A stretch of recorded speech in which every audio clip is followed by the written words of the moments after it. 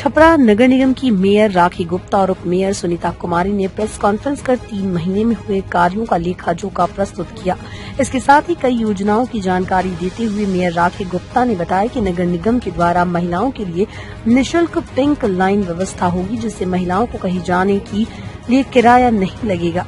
साथ ही शहरों में मुख्य स्थानों पर शुद्ध पानी की व्यवस्था, शौचालय की व्यवस्था की जाएगी, जिसके लिए स्थल चयन किया जा रहा है।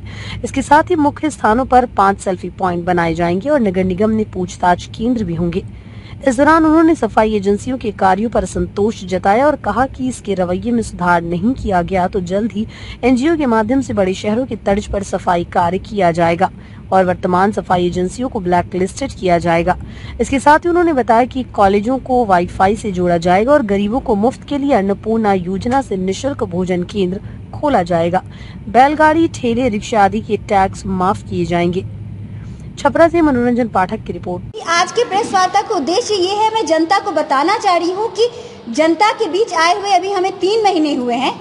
इस इतने दौरान में हमने जनता के लिए अभी तक क्या क्या किया है और क्या क्या हमने अभी बना लिया है? एक जो एजेंडा जो होता है, प्लानिंग जो है, हमने क्या क्या कर लिया है?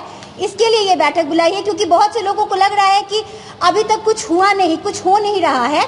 लेकिन आप लोगों को भी और हो जाए बहुत जल्दी आपको नगर निगम में ये सुधार दिखेगी।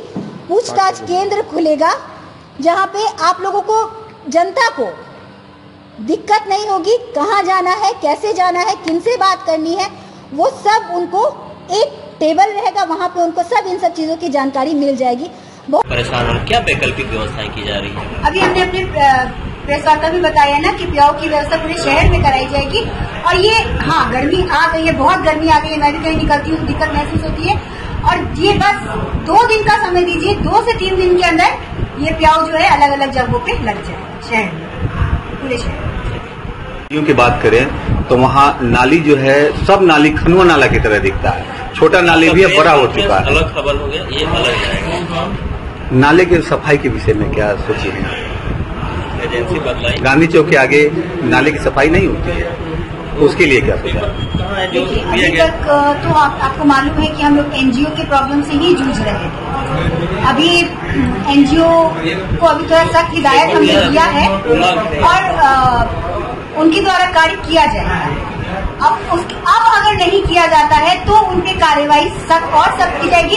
और इनफैक्ट हम लोगों ने तो अब सोचा है कि एनजीओ को चेंज कर दें। वो जितनी जल्दी हो सकेगा, हम उस पर भी आएँगे तो काम तो उनको करना पड़ेगा। अगर नहीं कर रहे हैं तो अभी हम प्यार से और अच्छे से उनको समझा के बात कर रहे हैं। नहीं सुनेंगे तो डांट फटकार भी लगाई जाएगी। अगर उसके बाद भी नहीं होगा तो कार्यवाही सख्त कर। अगर सफ़ाई की बात करें तो शहरों में आपका नगर निगम का जो गाड़ी है वो 12 बजे दिन में 10 बजे दिन में ऑफिशियल टाइम में घूमता है सफ़ाई के लिए। क्या उचित है? नहीं देखिए वो भी जो गाड़ियाँ चलती है ना वो भी एनजीओ द्वारा चलाई जाती है। उस पर भी हमारी उनसे बात हुई है। टाइमिंग तो गलत है। कहा था उस पे भी बहस हो चुकी है एनजीओ वालों से। लेकिन वो आपको क्लियर कट बता दूँ कि जो हमसे पूर्ण जो थे मेयर उनके अंडर में वो काम करते थे उन, उनकी पार्टनरशिप चलती है उनसे। तो पता नहीं क्या रीजन है कि वो हमारी बातें नहीं सुन रहे हैं। और अगर नहीं सुन रहे हैं तो कार्रवाई तो करनी पड़ेगी। और अब आप प्रेस रिपोर्टरों से मैं ये विनती करती हूँ कि एक बार आप भी जाइए एनजीओ वालों से पूछिए कि क्या बात है।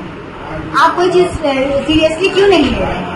क्योंकि मैं तो सवाल कर रही हूँ मुझे तो उन लोग भरमा दे रहे हैं मेरा तो बात नहीं सुन रहे हैं। तो उस पर अगर मैं कार्यवाही भी करती हूँ तो उसको पेपर वर्क के थ्रू लंबा प्रोसेस जाएगा। ऐसा नहीं है कि अभी मैंने बोला अभी कार्य हो गया।